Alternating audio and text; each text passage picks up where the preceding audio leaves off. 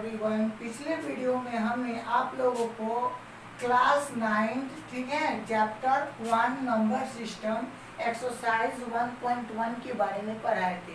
इस वीडियो में हम आप लोगों को एक्सरसाइज 1.2 के बारे में पढ़ाने वाले हैं।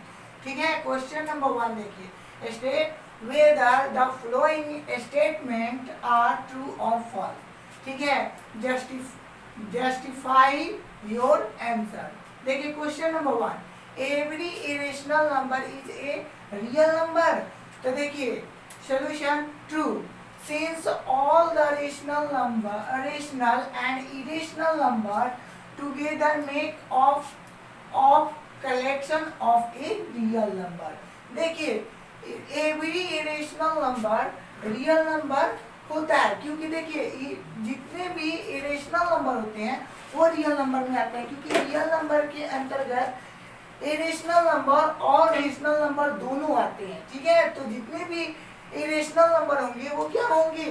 रियल नंबर होंगे, ठीक है? तो ये सही है तो ट्रू है। अब देखिए क्वेश्चन नंबर टू देखते हैं। Every point on the number line is of the form root under M where M is a natural number तो देखिए सॉल्यूशन फॉल्स as negative, देखिए, negative number cannot be expressed as the square root of any other number. देखिए, कभी भी हम लोग किसी भी नंबर का स्क्वायर रूट निकालते हैं तो वो क्या आता है? ऑलवेज पॉजिटिव आता है निगेटिव नहीं आता है, ठीक है? अब चलिए क्वेश्चन नंबर थ्री को देखते हैं। Every real number is an irrational number तो देखिए solution false since a real number includes both rational and irrational number so every real number cannot be an irrational number for example जैसे कि three है three क्या है ये जो है रेशनल नंबर है इरेशनल नंबर नहीं है ठीक है तो देखिए जितने भी रियल नंबर होते हैं ज़रूरी नहीं होता है कि वो इरेशनल नंबर हो क्योंकि रियल नंबर जो होते हैं इरेशनल नंबर और रेशनल नंबर दोनों होते हैं। तो ज़रूरी नहीं होता है कि जितने भी रियल नंबर हो, सब के सब जो है इरेशनल नंबर होते हैं। ठीक है? इसलिए देख लीजिए फॉर एग्ज़ाम्पल हमने थ्री बताया। टू भी टू भी क्या है? देखिए टू जो है रेशनल नंबर है इरेशनल नंबर है, नहीं है। और देखिए थ्री भी जो है रेशनल नंबर है इरेशनल नंबर नहीं है। आप लोग इसको नोट कर लीजिए। चलिए अब हम लोग क्वेश्चन नंबर टू को देखते हैं। Are the square root of all positive integer irrational ठीक है? If not give an example of the square root of a number that is a rational number देखिए क्वेश्चन बोल रहा है कि क्या the square root of all positive integers का irrational number होता है? जितने भी पॉजिटिव नंबर होते हैं इंटीजर्स होते हैं उसका स्क्वायर रूट इरेशनल नंबर होता है।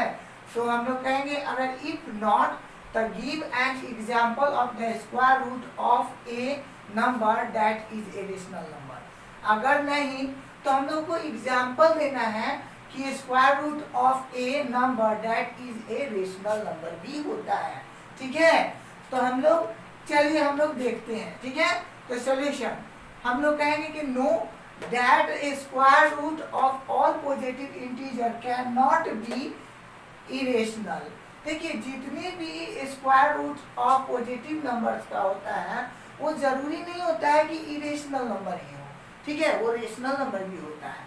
ठीक है? जैसे देख लीजिए for example root under one का ठीक है स्क्वायर रूट निकालेंगे तो वन आता है, जो कि रेशनल नंबर हो गया।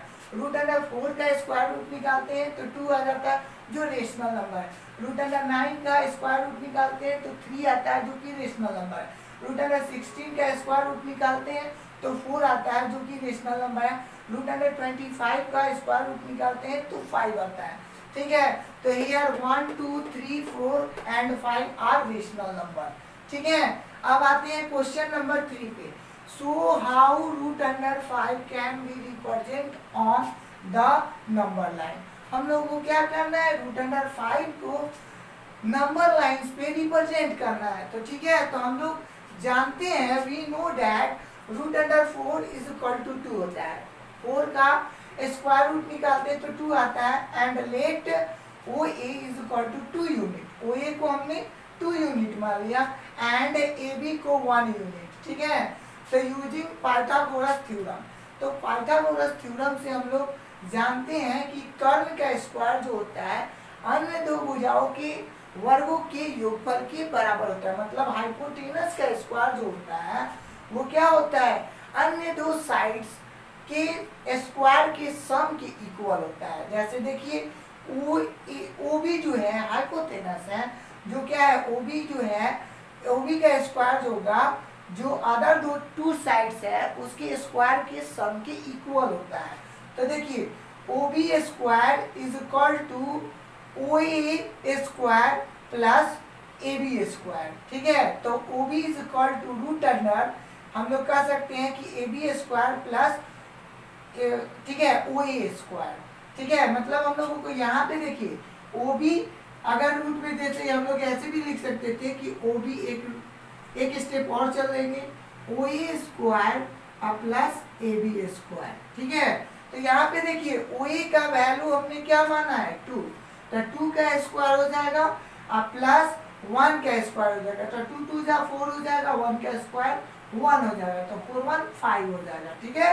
अब देखिए draw A B perpendicular to O A B को देखिए ए बी को परपेंडिकुलर खींचना है ओ ए पे, ठीक है? और taking O at the centre O को क्या लेना है? सेंटर मानना है and O B as radius और ओ बी क्या है? एक रेडियस है। ठीक है?